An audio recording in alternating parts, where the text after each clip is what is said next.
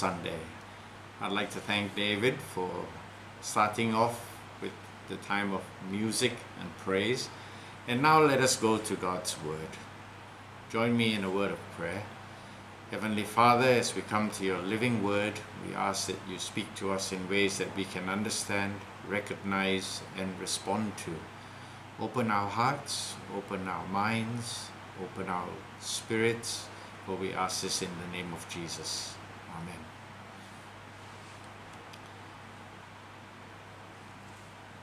I'm happy to carry on in this series in Moses' final sermons to his people in the book of Deuteronomy. Let me begin by asking you whether you identify with any of these statements. I'm happy when I have no family conflict. I'm happy when all my bills are paid. I feel relieved that my medical examination went well. I was able to help out a good friend today and I feel very satisfied. Well, finally, I was right, I was correct, and everybody knows it. I feel really good about that. Now, there are all kinds of things that make us feel good, aren't there? All these things, however, produce temporary results. I can have a good day, a great day, but I know in the back of my mind that tomorrow trouble may be just around the corner. We seek this thing and that thing, but in the end, what really matters? That is the question I have for you this morning. What really matters? Today we carry on in this series in Deuteronomy and we look at the whole concept of the glory of God. In the fourth chapter of Deuteronomy in verse 39, Moses exhorts the people, acknowledge and take to heart this day that the Lord is God in heaven above and on the earth below, for there is no other. The glory of God is in absolute. There is no other. Now, let me give you a little background to the context of my message today.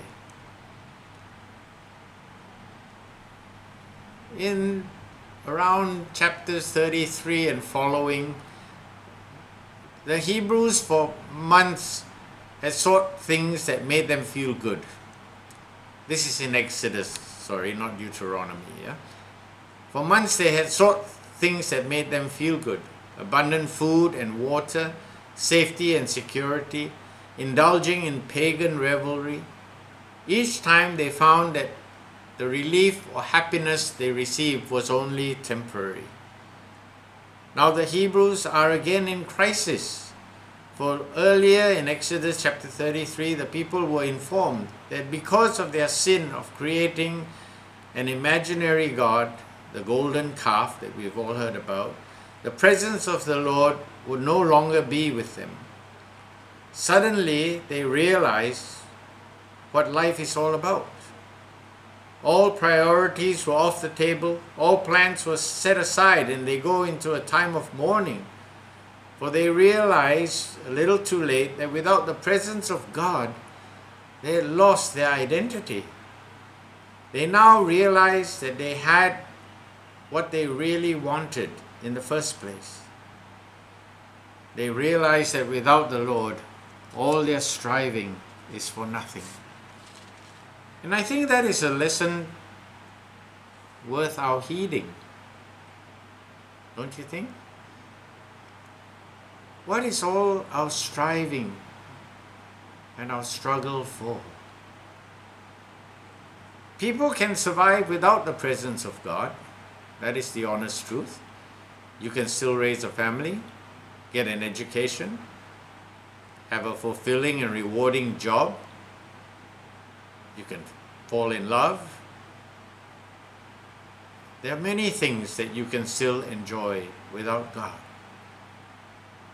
But it's still it's worth our while to ask the question in the end, what is it that really matters? And I would like to suggest to you today that what really matters in life is the presence of God. This is my conviction and my conclusion. I have over decades now seen so many lives, beginning with my relatives, uncles, aunties, family, friends, and later on school friends, national service colleagues, and then members of my church and other people that was called to be involved with in one way or the other in their lives. I think I have lived many lives vicariously. And that's my conclusion that living without the presence of God renders most things almost redundant. You know, in the end, Jesus did warn us not to store up the things that are temporary, but rather to lay up treasures that are eternal. And I believe that this life is only a prelude to what is to come. It determines our position, our fulfillment, our reward in the life that is to come. It will make sense of all of our struggles, our tears, our sorrow, our pain. When we are finally rewarded being able to behold the full glory of God and not be consumed. We will understand His purposes, and then we will receive that which is due to us according to what we have sown. Now, it would be fair to say that the glory of God is indescribable, for it is really everything and more. But for simplicity, one of the ways that we can understand the glory of God is to think of how God wanted His glory to be represented in the first place. And He did this by commanding that three items be placed in the ark. Let's look at these three items. The first item was manna. It was placed within a golden bowl and put inside of the ark. I believe he chose the manna to re- represent Jehovah Jireh, the one who provides. Because there's no greater testament to his capacity and his faithfulness in provision then in the way he brought forth manna every day for 40 years. And it reminds us that nothing exists without Him. For His glory not only provides, but it sustains. What do I mean by that? Remember, the manna seemed to have some kind of time mechanism in it. For five days, the manna lasted only 24 hours. And then on the Sabbath, they, they could collect it on, on Friday morning, it would have been, and Friday's manna would last through Saturday, the Sabbath, and then they could start again on Sunday, which was the first day of the week. So it had this remarkable time capacity. Five days it will last 24 hours, and for two, and on the fifth day it would last for 48 hours. But here in the ark, there is another curiosity. The best that we know is the manna that was placed within the ark wasn't replaced for 365 days because only once a year could Aaron go in there and uh, renew or, or, or, check on these items or, or clean them. So I, I'm not even sure if the manna was replaced or not, but at best it would have been once a year. But the manna didn't rot, it didn't deteriorate, and it tells us of God's providing and sustaining presence. That's one aspect he wanted to remind us of, and he got the manna to be placed in the ark. The second item would have been Aaron's rod of authority. Remember, Aaron was given this rod because he felt he was inadequate, and then it was proven that he had the authority when the sorcerers of Egypt put their rods down, they, they were able to create serpents like him. But his serpent then went on to devour theirs. But the next curiosity that we have is we are told that within the ark, Aaron's rod kept blooming. Now we know that if you cut off a branch of a tree, it's not going to bloom anymore. Well, maybe there's some species you can cut it off, but you've got to put that in the ground or, or uh, attach it to some other tree or something, graft it. But a piece of wood standing on its own is not going to bloom. Certainly not for a long period of time. But that's exactly what happened with Aaron's rod. And I think it speaks to us that God's authority never ends. And also that his authority gives life, not death. The rod wasn't a rod used to punish and beat and kill and destroy. It was a rod that bloomed. What a wonderful picture when I reflect on it. It was a rod that bloomed and gave life. And, and I believe exactly that our lives blossom when we submit to His authority. That's so precious, I'll say that again. Our lives bloom or blossom when we submit to His authority. And thirdly, the Ten Commandments.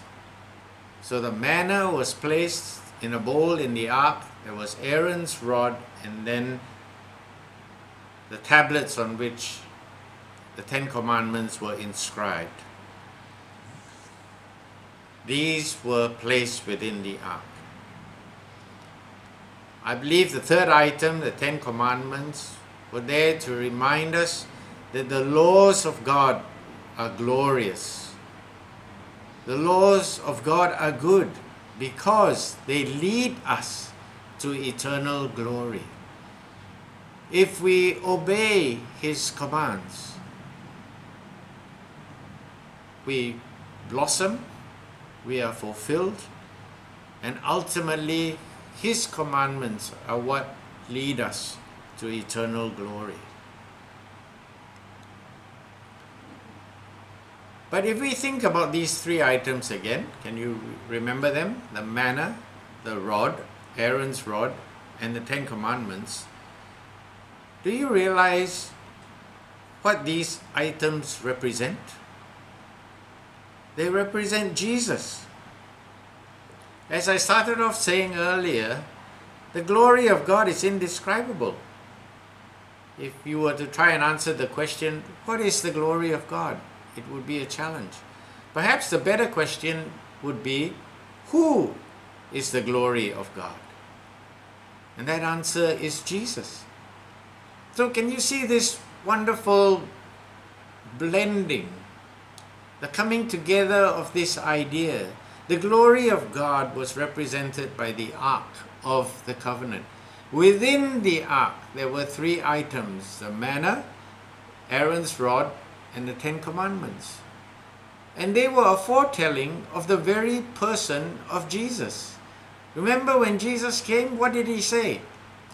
I am the bread of life. I am the bread of life.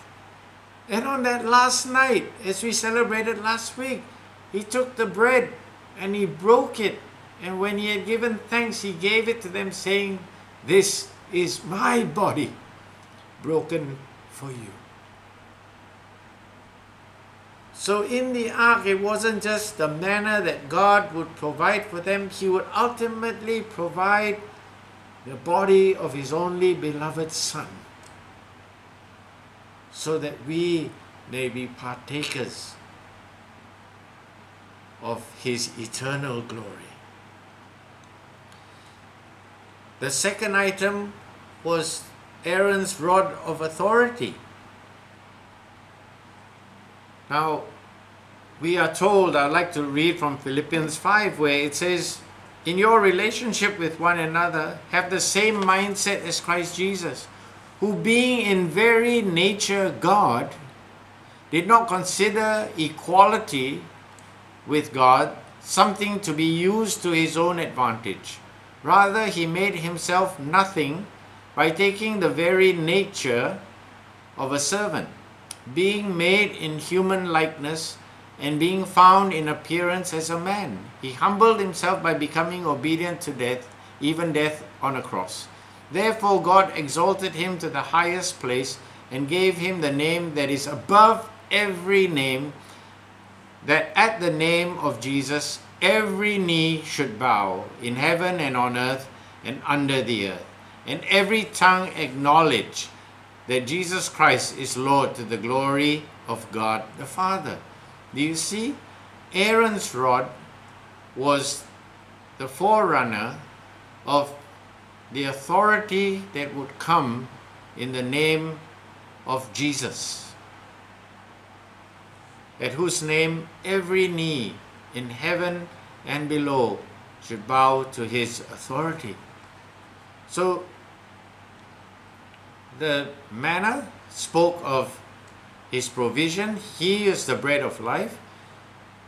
The rod of Aaron pointed the way to the one whose name would be the ultimate authority. And finally, we see that with Jesus, he was the Word. In the beginning was the Word. And it's that word that facilitated the Ten Commandments. Without a vocabulary, without the original word, there wouldn't even be the Ten Commandments. So we have this almost mind jogging time travel thing. The word was before the commandments, the commandments were given, and it pointed the way to the word becoming flesh. Uh, these are threads and themes that are just too wonderful to comprehend. I, I, I, was so blessed just in preparing this message.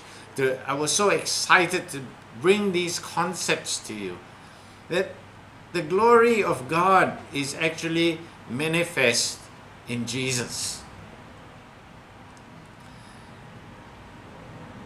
But do you know what else is a part of that? And here's the great good news. The glory of God is not just in Jesus, it is in you and I. Because the final image is that the bridegroom is going to come and bring the bride for that final consummation. So, just as much as Jesus is the glory of God, so are we. Wow, that is almost a thought too great to behold, to comprehend. But a great reminder that God created us for His glory, and in part, we are His glory. I remember singing a simple chorus I love you with the love of the Lord. I love you with the love of the Lord because I can see in you the glory of my King. And I love you with the love of the Lord. That is such a marvelous concept.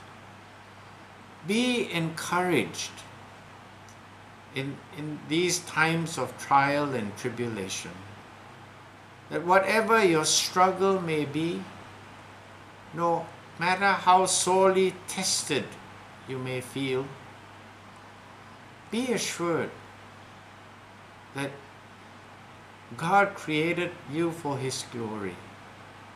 He will provide for you, He will sustain you.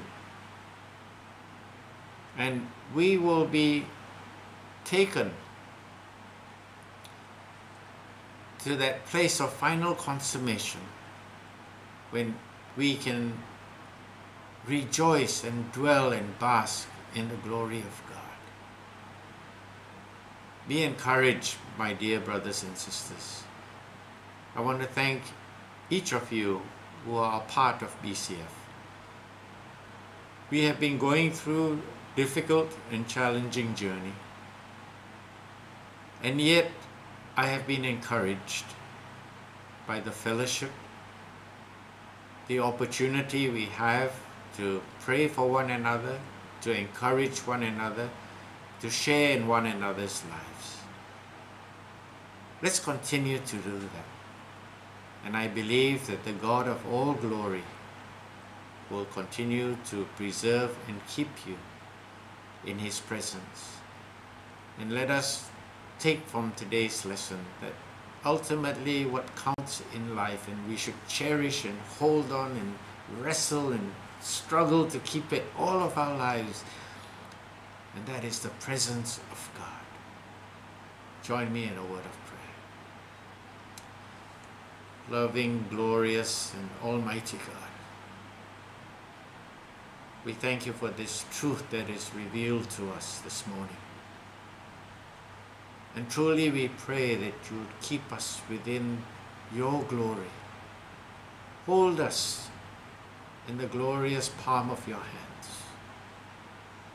That whatever this world brings our way, whatever challenges and disappointments pain, assure us that you neither leave us nor forsake us, for we are a part of your glory, now and forever, by the authority given us in the blessed name of Jesus, whose body was broken and blood shed. To you be all glory and honor and praise, now and forever, world without end. Amen. Have a great week in the presence and glory of God. Shalom.